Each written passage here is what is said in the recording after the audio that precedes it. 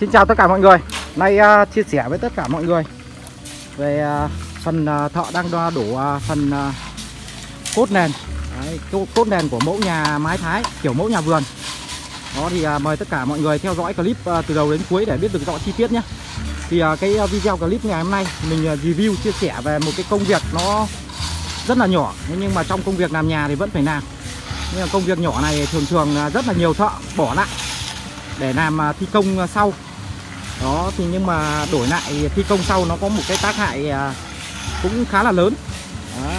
thì hôm nay mình xin được chia sẻ với tất cả mọi người để mọi người xem mọi người tham khảo và mọi người à, có thêm được uh, kinh nghiệm để mọi người lựa chọn cách thi công làm sao cho nó phù hợp nhất nhé đó thì uh, trên màn hình tất cả mọi người. Thì uh, thợ đang đổ phần uh, cốt nền. Đó phần uh, bê tông cốt nền. Thì xin được chia sẻ luôn với tất cả mọi người. Thì uh, khi chúng ta đổ phần uh, cốt nền này. Đó thì đây mình sẽ à, review về cuối khu vực đằng sau nhà này. Đó thì là thông thường thì là khi chúng ta đổ phần cốt nền thì là đây cái mặt dầm móng. Đó mặt dầm móng nó cũng là cốt không không đây.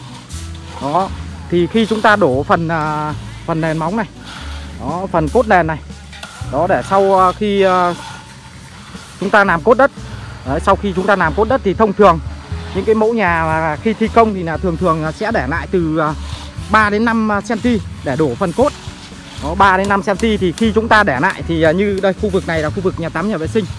Thì thông thường thì sẽ để lại 3 từ 3 đến 5 cm thì là khi chúng ta thi công. Đấy, chúng ta trồng mọc xong sau đó là khi chúng ta đổ lèn sau chẳng hạn. Thì trong cái thời gian mình thi công đấy, trong cái, cái thời gian mình thi công cái mẫu nhà thì thông thường nó sẽ uh, mưa nắng đó thì là cái khi chúng ta gặp phải trời mưa thì trong cái nền trong cái khuôn nền này đó trong cái khuôn nền như mẫu nhà này thì là để lại cái phần cốt ví dụ như bên kia. Đấy để lại từ 3 5 phân thì à, cái phần bên kia thì là sâu hơn. Cho khu vực nhà tắm nhà vệ sinh thụt xuống cái phần bên đó là từ 8 đến 10 phân. Thì thông thường như à, như những cái à, ô nền này. Đấy trong cái ô khoang nền và khoang nền như này thì là thường thường là sẽ để lại kia như mọi người có thể quan sát thấy.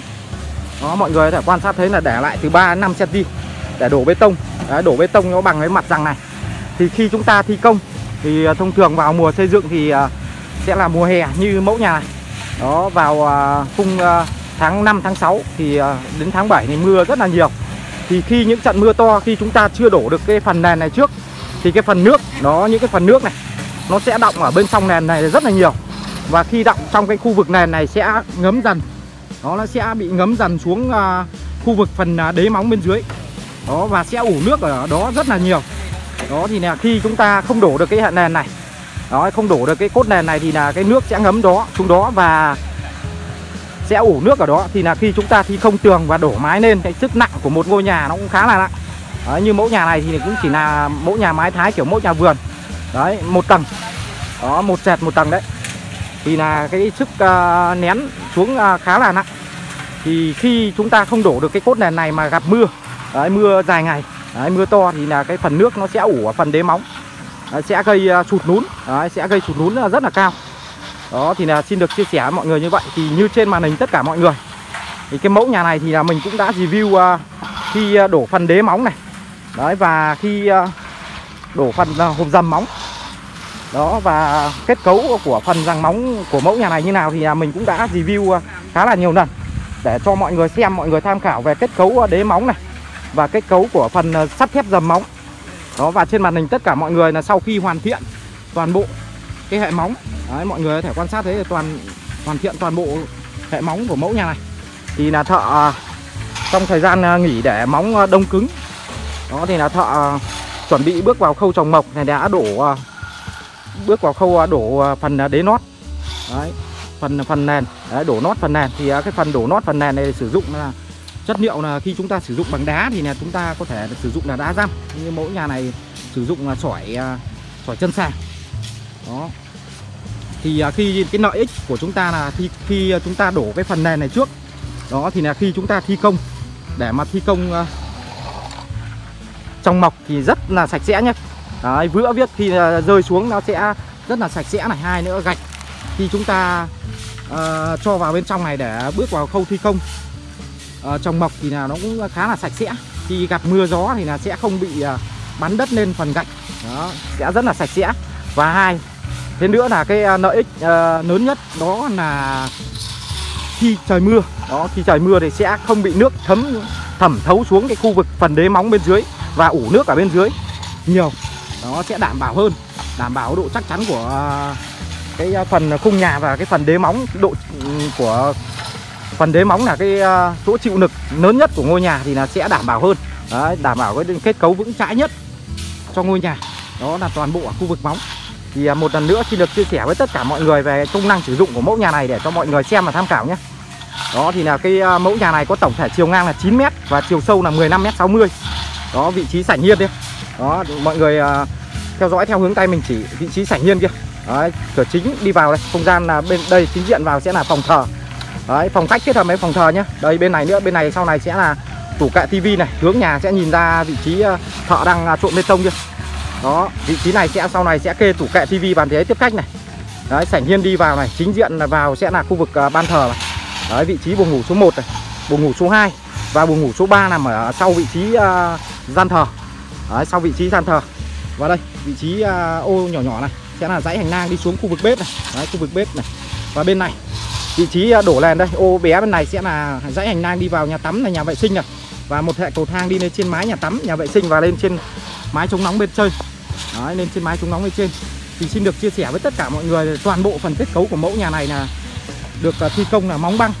Đấy, thi công là toàn bộ là móng băng và dầm móng là dầm 500 Đấy, sau khi đổ phần à, đế móng băng dày 35 cm bê tông và rộng 80 Đấy, 80 đến 90 đó do máy cuốc mà.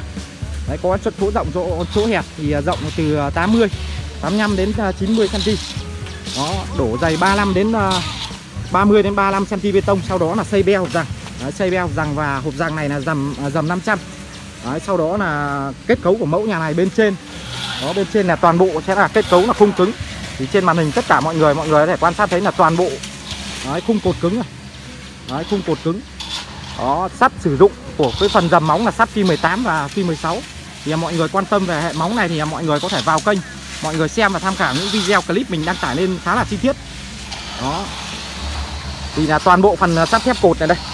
Đó sắt thép cột này thì là được sử dụng toàn bộ là sắt phi 16 đó toàn bộ sắt phi 16 nha bốn cây. Đó thì là xin được chia sẻ với tất cả mọi người một lần nữa thì là khi trước khi uh, cái phần à, đế cột này thi công ấy. Đấy để dựng đế cột thì đã có những cái phần tim này. Đấy thợ đánh dấu này những phần tim này đó, đánh dấu toàn bộ nhé cả nhà nhé đấy, đánh dấu toàn bộ những phần tim đấy, một cái bước ờ, thi công rất là nhỏ nhưng là rất là quan trọng. Đó là lấy tim đánh vuông, đây là vị trí tim này. Đấy, để sau này khi chúng ta thi công đổ làn và đổ cột sẽ lấy tim chuẩn hơn. Đấy, thì như mẫu nhà này thì đã được gia đình yêu cầu. Ờ, đơn vị ờ, bên chúng tôi thi công sẽ là thi công là đổ toàn bộ là hệ cột khung cứng là đổ sau.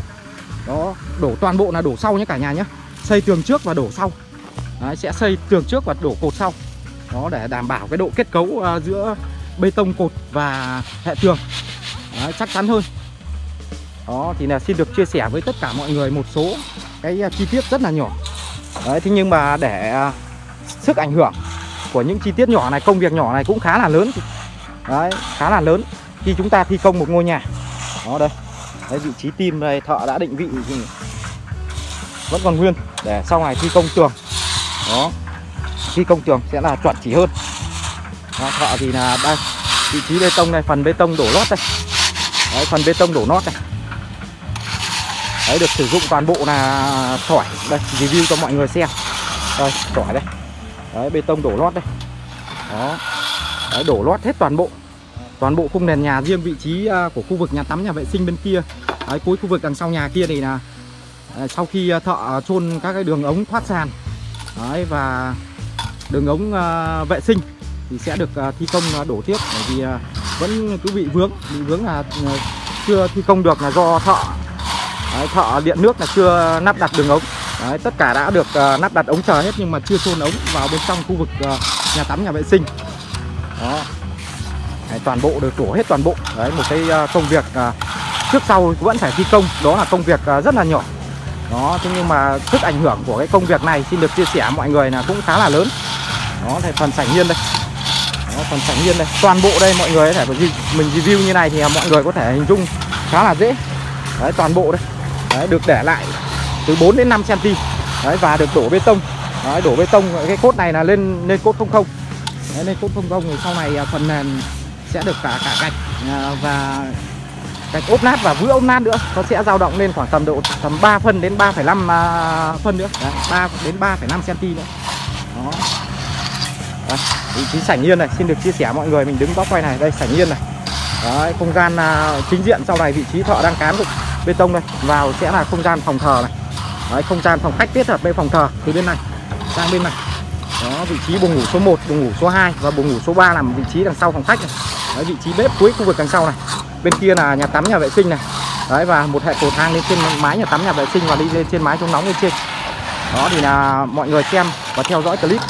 Thì à, mọi người à, đăng ký kênh nhấn chuông thông báo để cập nhật những video clip chi tiết. Đó, những mẫu nhà đẹp và những kinh nghiệm xây dựng mình đang tải lên nhé. Đó, xin chào tất cả mọi người. Mình xin được kết thúc video tại đây. Cảm ơn tất cả mọi người.